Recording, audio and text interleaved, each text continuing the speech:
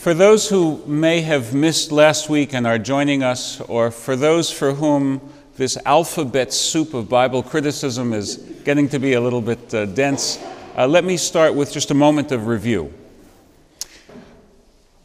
We are understanding the Hebrew Bible as a product that came into our possession over time and that reflects the lived experience of the people Israel in their political and their social and their economic, and of course also their religious lives.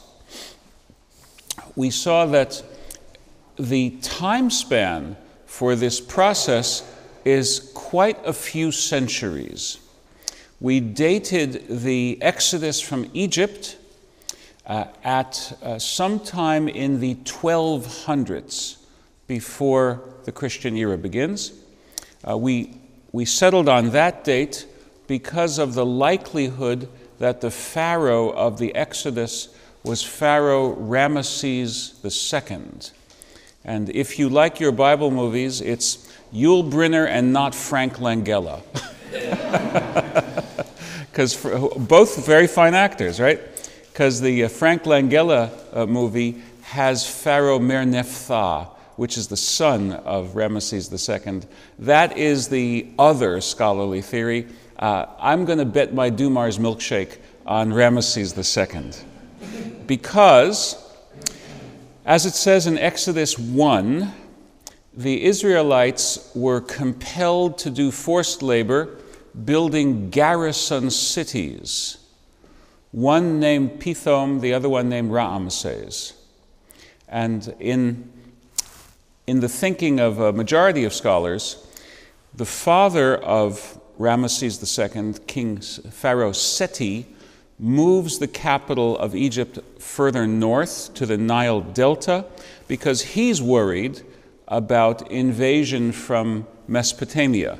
People coming down, following the, the coastal highway of um, the Mediterranean and breaking into Egypt through what is modern day El Arish. And so he wants to garrison that northeastern frontier of Egypt. And he uses slaves to do so. He assigns his crown prince, Ramesses, to oversee it. Ramesses did not suffer from excessive humility. we know that from his many, many statues. So, sure enough, he names the city after himself, Ramesses. Moreover, we know from archaeology that Ramesses' own firstborn did not succeed him. This firstborn prince, named Amun Her Chefesh F, uh, I call him F for short, uh, died in the 25th year of Ramesses' 60 plus year reign. He was like the Queen Victoria of Egypt.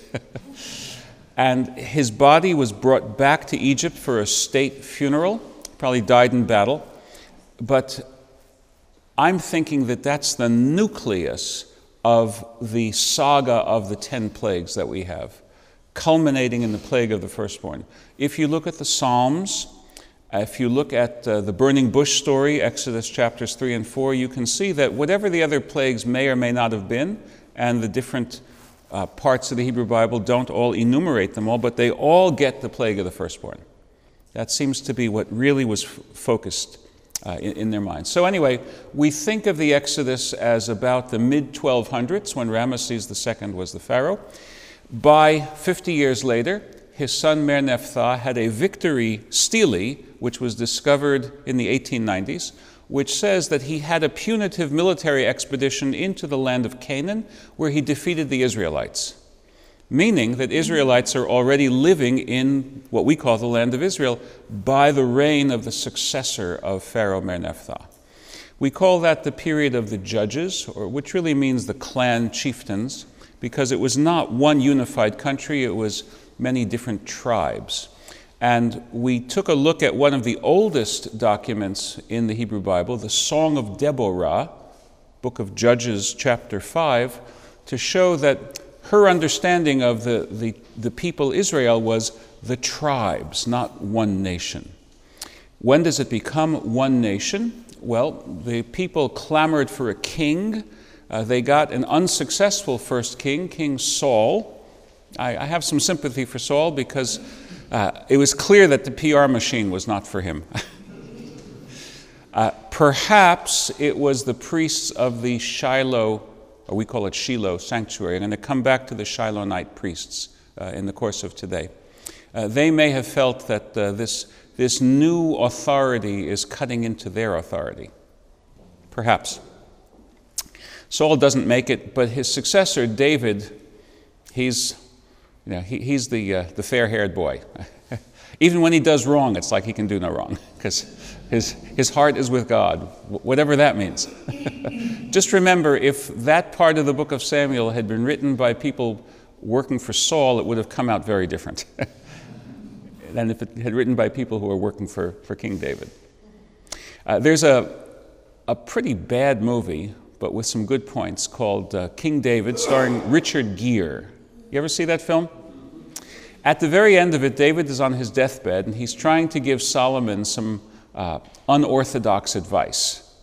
he tells Solomon, Don't listen to what all these prophets tell you. listen to your heart. Who, who sings that nowadays? Listen to your heart. That's not Taylor Swift, is it? Who sings Listen to Your Heart? Anyone know? Taylor Swift? Okay, so before there was Taylor Swift, there was King David. anyway, so this scribe in the corner of the room is busy writing that down. And David says with some irritation, Must you write everything I say? and the scribe says, It's your majesty's orders. It's for the book of Samuel. Which is actually a biblical memory. 2 Samuel chapter 22 has a, um, a listing of who the, the officials were in his inner, inner court. And there was a recorder there, there was an archivist. Maybe that's the author. Who knows? Maybe that's where, you know, he, it, it's like um, Hirschfeld used to put his, uh, his daughter's name into every one of his, his uh, illustrations. You ever see that? Is it Nina he puts it in? So if you look hard enough, you find the Nina in the book of Samuel for the guy who actually wrote it. Perhaps.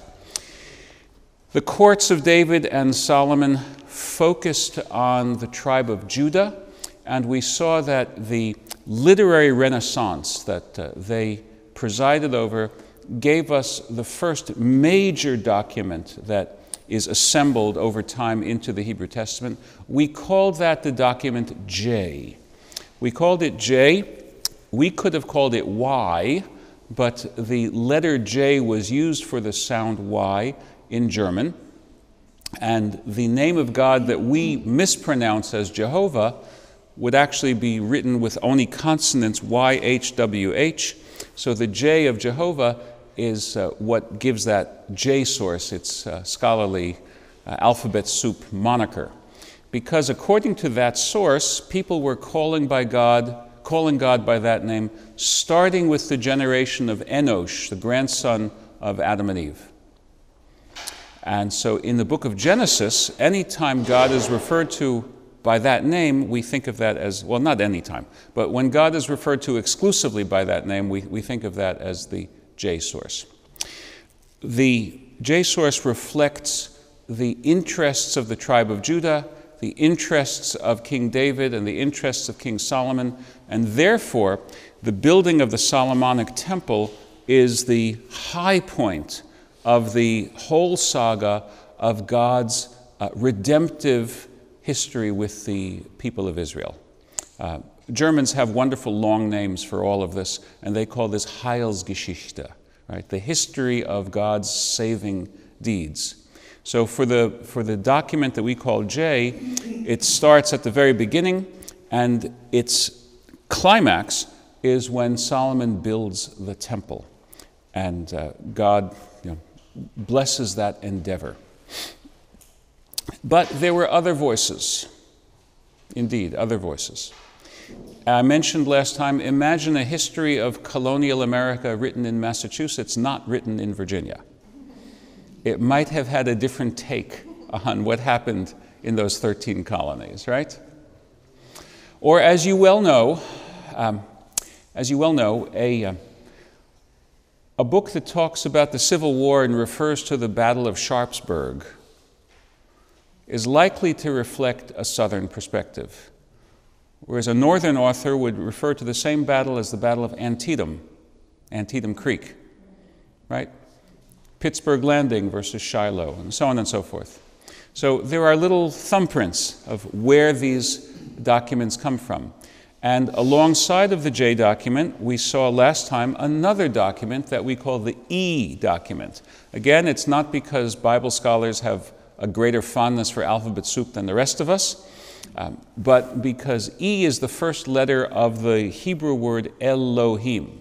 Actually, that's not true. Aleph is the first letter of Elohim, but transliterated into E. So, according to the E document, Exodus chapter 6, verses 2 and 3, God revealed that special name, Jehovah, only to Moses.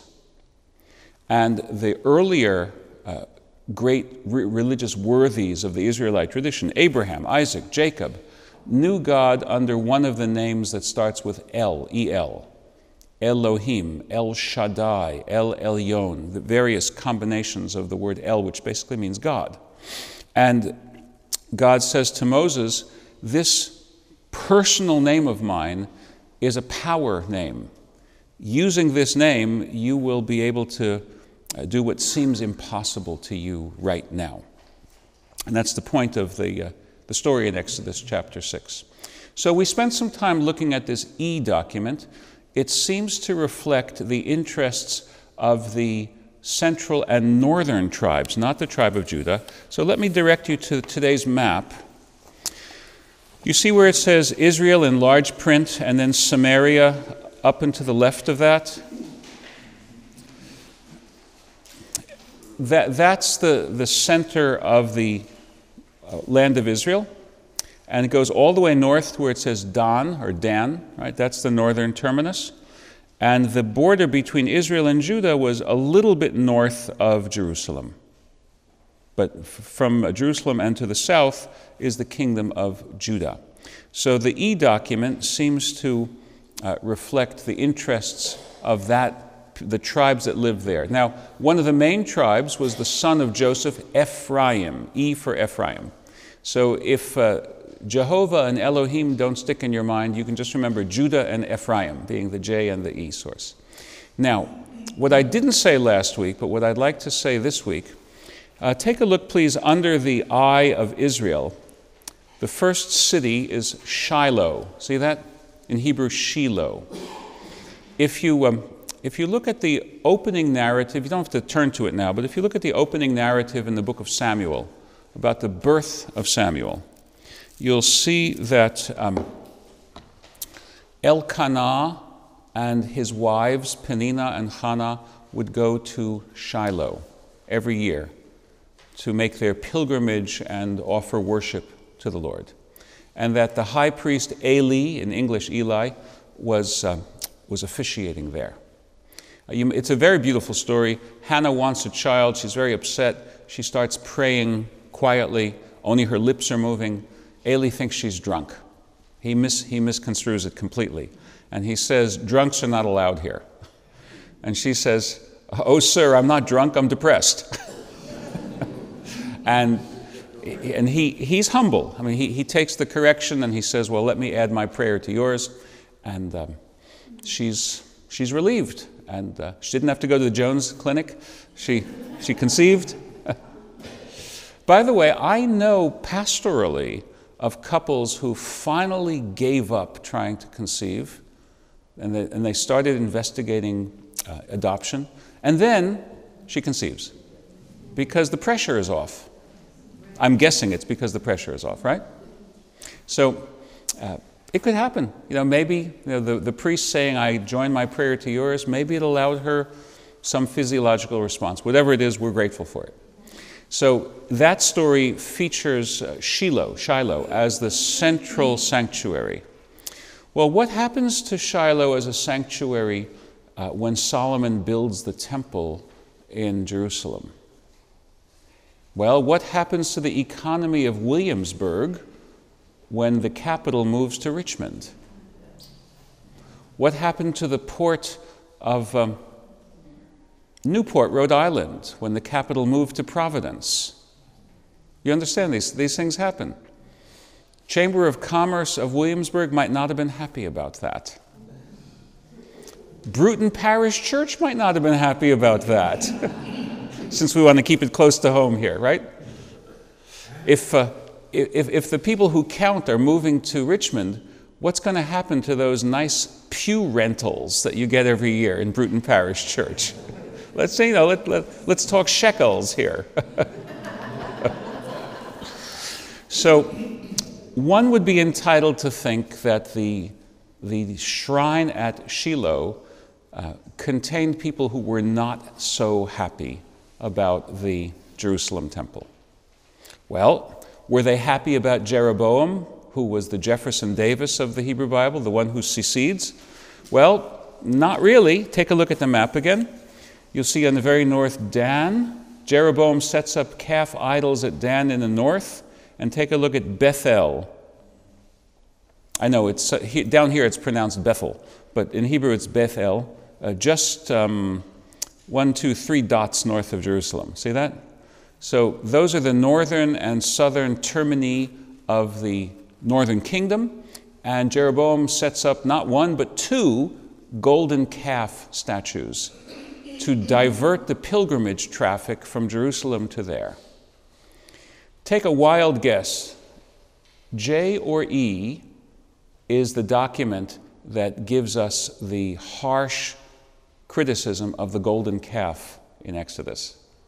Would that be a J or an E document?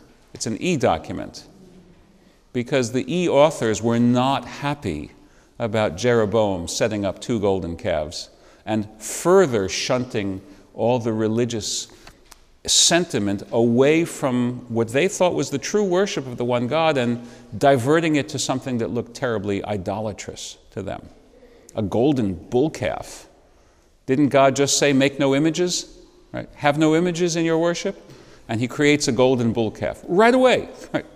So the, it seems to us that the priests of Shiloh were happy neither with the kingdom of Judah nor with the uh, kingdom of Israel. But they were still there and they were doing their, their level best. Now, historically, the kingdom of Israel was destroyed by one of the empires that rose to great military power, the Assyrian Empire. Its base of strength was modern day Iraq and Syria. First, they defeated the other Arameans, the people of Syria, and they, they had a policy of uh, forcibly exiling the populations that they conquered, which, by the way, is why Aramaic became the common language of the ancient Near East. Because all of these Aramaic speakers were exiled to all of the reaches of the Assyrian Empire. And you may well know that even the later books of the Hebrew Bible, the book of Daniel, book of Ezra, etc., uh, have uh, portions written in Aramaic.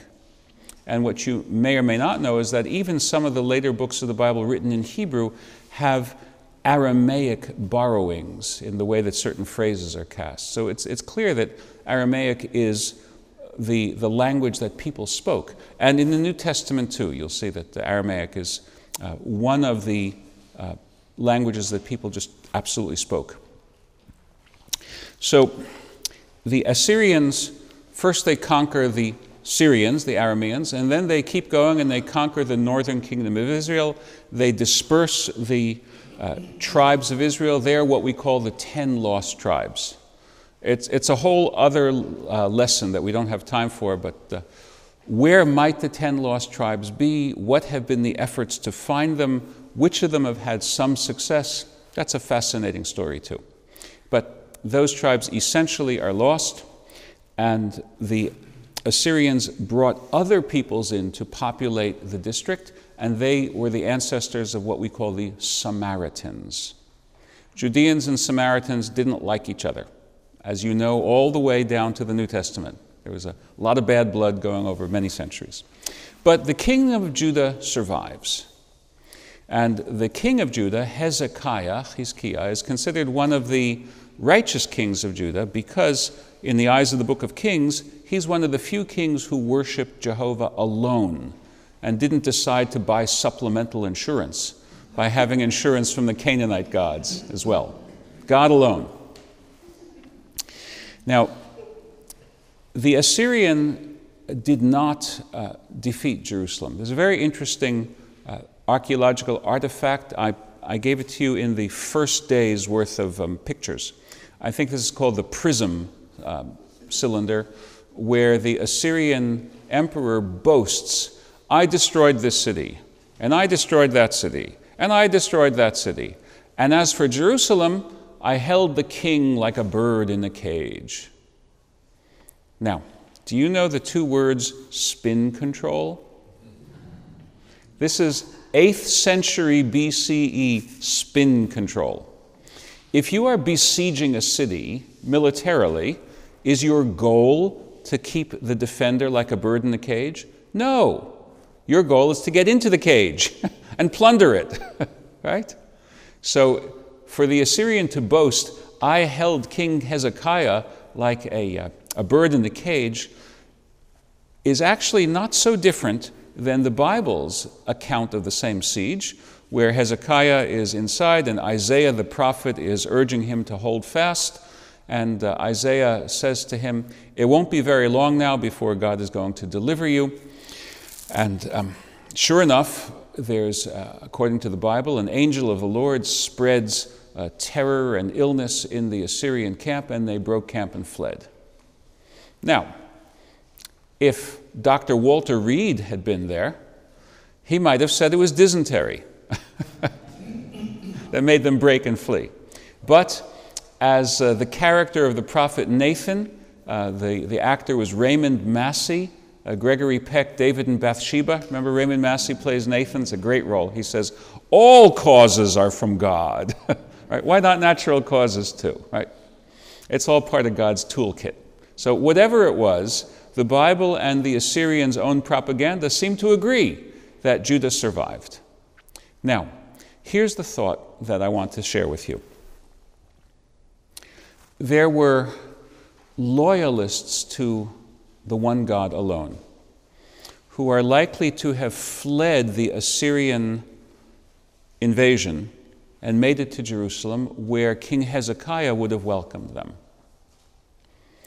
They were probably from the original sanctuary at Shiloh, which had been out of power but still a very important place. Just as College of William and Mary, Williamsburg, is still a very important place today. Intellectually, it's still a center in, in our state, even though it's not the capital. Right? It's a little bit off the, the beaten path, but it's still an important place to learn from.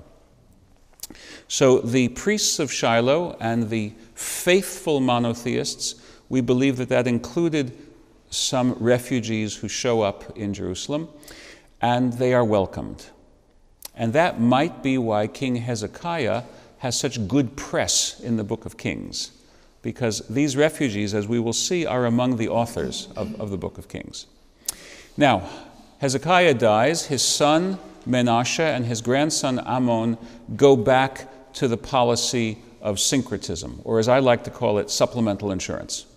They, it's not that they don't worship the God of Israel, but they worship the God of Israel plus the other gods. And of course, you and I are conditioned because of the Ten Commandments to say, if you're going to worship the God of Israel plus other gods, that's not worshiping the God of Israel.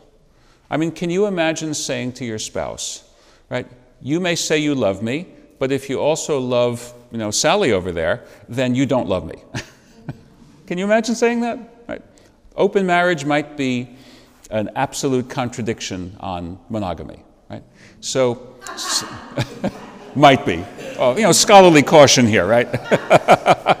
I was hoping someone would get that.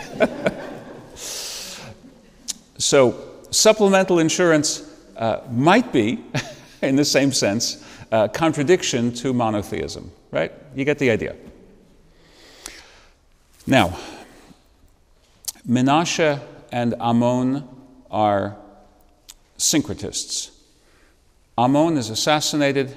His son, Josiah, key person in our story today, becomes king at a young age. Now, did you ever read Mark Twain's The Prince and the Pauper? Saw the movie. Well, that's probably okay too. So the, uh, the, the prince is the, uh, the sickly young son of Henry VIII. Edward the Fourth, was it? I think sixth. Edward the Sixth. Okay, so he doesn't last very long, right? And then he's replaced by Mary Tudor, and then by good Queen Bess, right? Smartest woman on the throne in the 16th century. A smartest woman or man on the throne in the 16th century. Anyway, so a young king who's still a minor is likely to have a regent. If you look closely at the names and the lineages, you come up with some of the names of people from the Shiloh priesthood, like Hilkiah. It seems that Josiah was tutored by authentic monotheists. Now, we get to the really important story here 2 Kings 22 and 23. Do you know anything about um, refurbishing a church which has been around for a long time and needs a lot of work? Have you ever had experience of that? it's a complicated process. Do you know that when you're rooting around, you might find things that you didn't know were there? Did you know that? I'll bet you have. That would be a good cup of coffee conversation. so, I, I, would love to see some of the old reels that were in the projection room upstairs that someone forgot to take away. I'd love to know what we were watching when that was a projection room back then. Just by the way. Maybe we were watching the silent version of the Ten Commandments. Who knows? So, the book of 2 Kings, chapter 22, tells us that while they're working on refurbishing Solomon's temple, which is 300 plus years old by then, I mean, it's like the Wren building at William and Mary. That's how old it is, right? Except the Wren building is reconstructed, but it's, it's how old the Wren building should have been, right? They find a scroll and they bring it to the scribe, Shaphan, who reads it to King Josiah and he tears his garments in mourning. And this is what he says 2 Kings 22, verses 8 through 12. When the king had heard the words of the book of the law, he rent his clothes. The king commanded, saying, Go, inquire of the Lord for me and for the people and for all of Judah concerning the words of this book that is found. For great is the wrath of the Lord that is kindled against us, because our fathers have not hearkened unto the words of this book to do according unto all that which is written concerning us. I never know why all these Bible characters sound just like King James.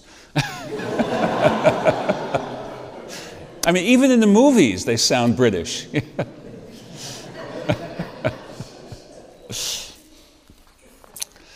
I don't know. I'm, I'm waiting for a Bible movie which makes Moses sound like he's from Alabama. so, the king obviously was motivated to make some religious reformation. When we look closely at what he did, it gives us a big clue as to what that scroll was. So I invite you to follow me on this little um, mystery right now. So I'm going to skip now to chapter 23, verses 8 and 9 of 2 Kings. Among all the other things that Josiah did, he got rid of the idolatry, uh, he got rid of the um, temple prostitution. Did you know about that? Uh, you know, they were fertility gods. Maybe we shouldn't call it prostitution, right? They were fertility gods. They believed that the the, the act of, uh, of sexual intimacy is a form of worship. Maybe some people think it is, right? Maybe some people say, oh God, and they think it is. but in any case, Josiah gets rid of all that. but look what else he gets rid of. Look what else he gets rid of. Verses 8 and 9. he brought all the priests out of the cities of Judah and defiled the high places where the priests had burned incense. He broke down the high places which were at the gate of the city. The priests of those high places did not come up to the altar of the Lord in Jerusalem, but they did eat the matzah bread among their brethren. That last little phrase, that clause actually, that last little clause gives us a real clue. He is not suppressing idolatry here. If he were suppressing idolatry, he wouldn't have given a golden parachute to the priests. Right? He wouldn't have given them a lifetime you know, Social Security benefit. He's treating them as legitimate priests, but he's shutting down their parishes. That means that they are priests functioning at altars to the one God, but not the altar in Jerusalem. And he believes, as his great grandfather Hezekiah believed, that that was wrong, and that only one place is the correct place to bring sacrifice to the one God. One God, one place. That little clue tells us what this scroll is. So now let's look at Deuteronomy chapter 12. And I'll pick up at verse 10. Moses giving instruction to the Israelites, who are, take a look at the map, they are on the east side of the Jordan River. Uh, you see where it says uh, Moab on the east side of the Dead Sea? They're in the plains of Moab. Moses is giving his farewell valedictory address, and he says to them, Here are a set of regulations for when you cross the Jordan and come into the land which we've been traveling to for a whole generation. When you go over the Jordan and live in the land that the Lord your, give, your God is giving you to inherit, when God gives you rest from all your enemies around so you live in safety, then to the place that the Lord your God will choose to make God's name reside there, there shall you bring all that I command you. That one place. Take care that you do not offer your burnt offerings at any place that you see, but only at the place that the Lord will choose in one of your tribes. There shall you bring your burnt offerings and do all that I am commanding you. Centralization of the worship. That's what Deuteronomy chapter 12 orders. No other law code. We were talking about how Deuteronomy seems like a, a, reiteration of earlier law codes, which it is. That's what Deuteronomy means. Deutero, two, nomos, law. Right? Second iteration of giving the law. But Deuteronomy is not simply a verbatim copy of Exodus, Leviticus, and Numbers. It has some distinctive themes. One, by the way, is education. Deuteronomy is very concerned with uh, educating your children. Uh, another characteristic theme of Deuteronomy is uh, humane, charitable compassion. The, the widow, the orphan, the stranger who doesn't have family that that person can rely on, the Levite, that's a, that's a key thing here. I'm going to explain it. Have your hand open for them. Don't have a closed fist, have an open hand. That's Deuteronomy. And Deuteronomy chapter 12 says, only one altar. Now, what does only one altar and have compassion for the Levites have in common? Think about how many Levites just lost their jobs with the shutting down of all those other places. They just lost their livelihoods. So, Deuteronomy is commanding us be generous to them, be that golden parachute that they need. So now, why would Hezekiah, why would Josiah, why would the priests of Shiloh want to shut down all the other altars? The answer is pretty obvious. They were doing it wrong. They were worshiping the God of Israel and the gods of Canaan. That's not the way to worship the God of Israel. So the Josiah Reformation is lauded in the book of Second Kings extravagantly, up to the point of saying that never again was there a king like King Josiah, never before and never since. Does that remind you of something from the end of Deuteronomy? And Moses, the servant of God, died at the word of the Lord. And God personally buried Moses. And to this day, no one knows where that grave is. But there never again rose in Israel like unto Moses as a prophet, who had face to face conversations with God. Never again was there a prophet like Moses. Never again was there a king like Josiah. It's, it's the same phraseology. And it shows us in one of many ways that the quote unquote E document, which we've understood as coming from the center part of Israel and probably the priests of the Shiloh tabernacle, is influencing the D document, which comes to fruition in Jerusalem, but probably written by those refugees as well. And uh, we know that that happens. Refugees from uh, Nazi Germany arrived in the United States. Uh, many of them settled uh, in Southern California and continued to write what they wrote. So you can see Berlin 1920s, Los Angeles 1940s. It's half a world away, but the ideology is coherent. The book of D is like the, the book of E in that sense. And just to, um, to give you one more little point, going back to Sharpsburg versus Antietam. Remember that?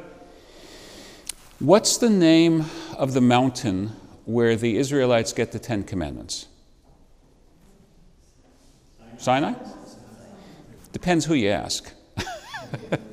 if you ask the J document, it's Sinai. If you ask the E document, it's Horeb, H O R E B. Horeb. John Milton picks up Horeb at the beginning of Paradise Lost, right? Horeb. Which of those two names does the D document like to use? Horeb. Rest my case. you see how it, we have, in the seventh century, Israelites contemplating disaster you see, history isn't only written by winners. This is the point I want to make as a closing point for now, and it will set us up for a very important lesson next week about Israel in exile and pulling it all together. History isn't only written by the winners. Sometimes it's written by the luckier among the losers who manage to escape and continue writing what becomes history. Right? Think of uh, Thomas Mann living in Southern California and writing his indictment of Nazism in Dr. Faustus. Right? Think of uh, the other you know, great refugees of the, of the Nazis, uh, Theodor Adorno, the critic.